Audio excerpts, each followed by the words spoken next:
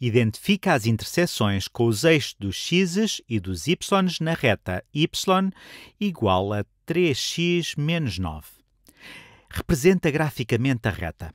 A interseção com o eixo dos x, vou abreviar para int x. É o ponto em que a reta interseta com o eixo dos x. Não se esqueçam, o eixo horizontal é o eixo dos x. Quando uma reta interseta com o eixo dos x, o que sabemos acerca das suas coordenadas? O valor de x pode ser qualquer um, mas o valor de y terá de ser zero. Se o ponto estiver sobre o eixo dos x, significa que não se deslocou no sentido y, significa que y é zero. Então, isto significa que y é zero. Temos de determinar o valor de x, definido por esta relação, quando y é igual a zero. Do mesmo modo, quando falamos em interseção com o eixo dos y, vou fazer aqui embaixo. O que significa isto? Interseção com o eixo dos y. Significa, este é o eixo dos y no sentido vertical. A interseção com o eixo dos y é o ponto em que a reta interseta com o eixo dos y. Neste caso, estando sobre o eixo dos y, o valor de y pode ser qualquer um, dependendo do ponto de interseção com o eixo dos y, mas sabemos que não houve deslocamento para a direita ou para a esquerda. Sabemos que o valor de x é zero na interseção com o eixo dos y. Aqui o valor de x será zero. Para determinarmos o ponto, só temos de encontrar o valor de y correspondente, definido por esta relação ou por esta equação. Comecemos pela primeira. A interseção com o eixo dos x ocorre quando y é igual a zero. Então vamos assumir que y é igual a zero e calcular o x. Então, 0 é igual a 3x menos 9. Podemos adicionar 9 a ambos os lados desta equação para isolar o termo de x.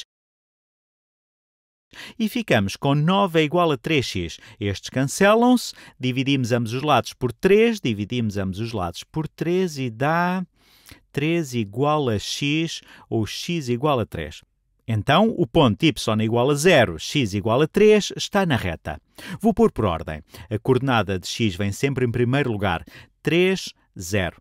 Aqui é a origem. 1, 2, 3 é aqui.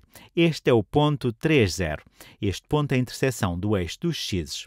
Não se esqueçam, este ponto está sobre o eixo dos x, mas o valor de y é zero, não houve deslocamento para cima ou para baixo. Quando pensamos na interseção com o eixo dos x, significa que o valor de y é zero, portanto temos de calcular o valor de x. Agora fazemos o oposto, para a interseção com o eixo dos y.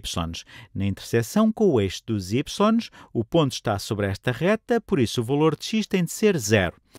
Então temos de ver qual é o valor de y quando x é zero. Vou usar o cor-de-rosa. y é igual a 3 vezes, x agora é 0, 3 vezes 0 menos 9. 3 vezes 0 é 0, 0 menos 9 é igual a menos 9. Então temos o ponto 0 menos 9. Quando x é 0, descemos 9 unidades para chegar a y. 1, 2, 3, 4, 5, 6, 7, 8, 9. O ponto 0 menos 9 é aqui. Reparem, está sobre o eixo dos y, por isso é que é a interseção com o eixo dos y. E o valor de x é zero. Não houve movimento para a esquerda ou para a direita.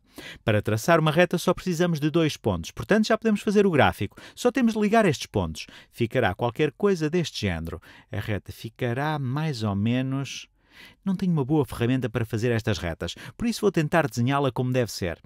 A reta vai ficar mais ou menos assim. E continua, continua, fazemos uma reta direita. Continua assim, continua e podia prolongá-la eternamente neste sentido. A minha reta não ficou nada direita, mas acho que perceberam a ideia. Continua neste sentido e neste. Não tenho uma régua boa para desenhar a reta, mas já está.